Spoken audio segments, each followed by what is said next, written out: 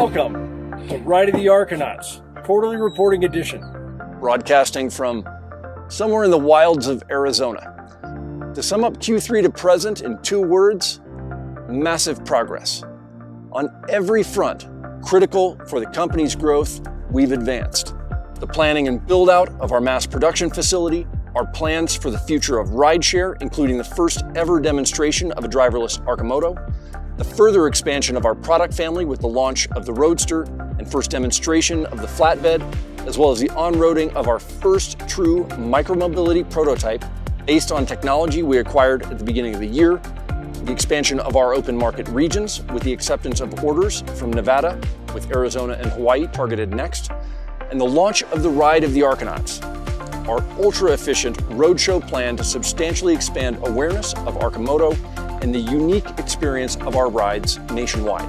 And despite supply chain issues outlined in our stakeholder update at the beginning of Q4, we sold a record number of vehicles to customers from our current limited production facility. The push to volume production continues to be our most important overarching objective, and in the third quarter, we made significant progress towards that goal. We took possession of our new ramp facility and began landing new production equipment, including our new automated plastics production cell, as well as began the renovation of the facility that will become general assembly. We plan to pause vehicle production for a portion of Q1 in order to move materials, quality, subassembly, and the assembly line into the new facility, after which we expect to achieve substantially higher unit output for the remainder of next year.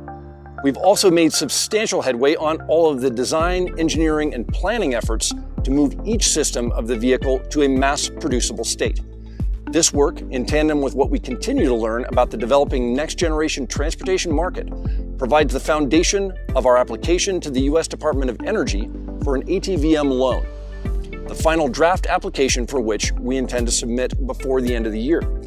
Now, note about that ATVM loan, we also did a lot of work over the course of the last year working to make changes in the authorization of the ATVM program with our partners in Congress. And we're very pleased to report that the, the infrastructure bill that President Biden signed today contains a really important modification that we believe, in tandem with the market research that we have done, will really bolster our application for that program.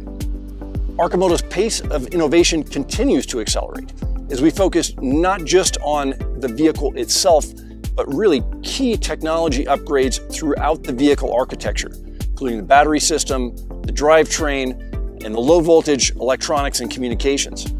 Our innovation pathway is not strictly limited to improving cost and performance. We see right sized, better utilized EVs as a critical pillar in our mission to accelerate the shift to sustainable transportation.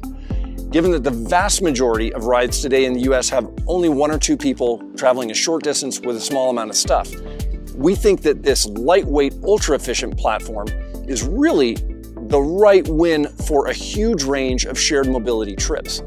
As we look ahead to much higher levels of stepped up production starting at the end of next year, we launched the Ride of the Arconauts, a program that we're essentially beta testing today, which is, we think, a radically more efficient way of doing vehicle roadshows. The typical way, and we've done this for more than a decade, you truck vehicles thousands of miles, people fly in, stay at hotels, and then everybody boogies back home.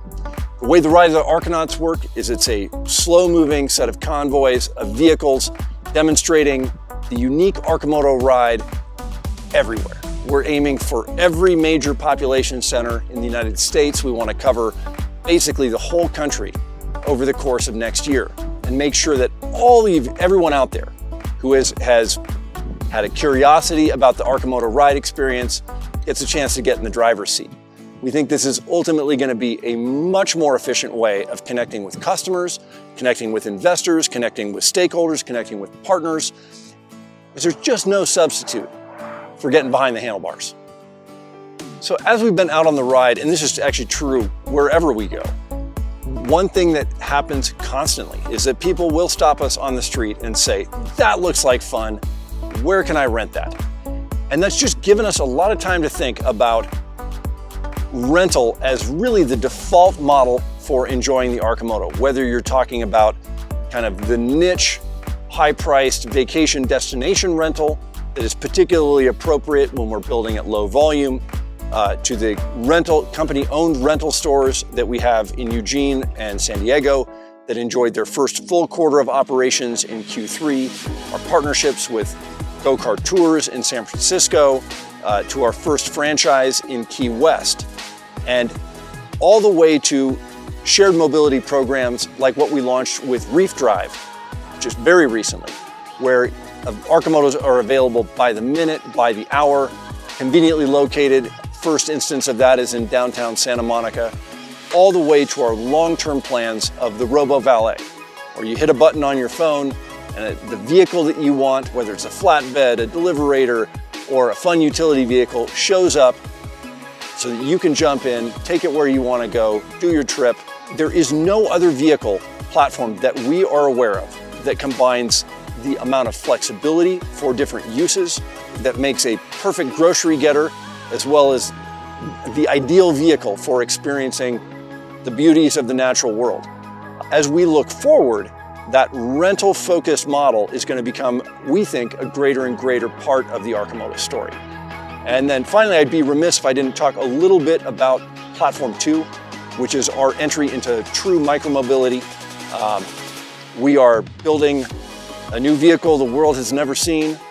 And what I think we haven't really talked about much is that at the heart of that new vehicle is what we call Micro Future Drive, which is a combined drivetrain system for micromobility devices.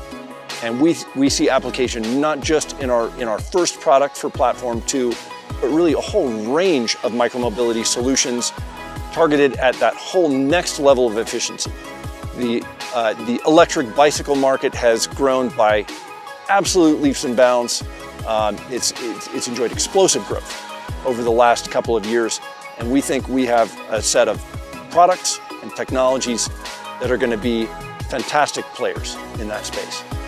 We're all looking forward to getting back to base, taking everything that we've learned on this ride, formulating the plans for next year when we're going to scale it up uh, and really bring the Arcimoto experience to you.